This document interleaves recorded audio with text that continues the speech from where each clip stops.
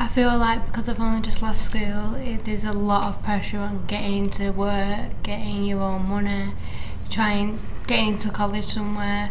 I think a lot of teenagers are feeling that right now about when they leave school because they they automatically as soon as they finish school, um, they're automatically assumed to go straight into work. You need to go straight into work. hmm So it's a lot around jobs and employment then. Yeah, I'd say I'd say yeah. After you finish school, it's mainly jobs and employment.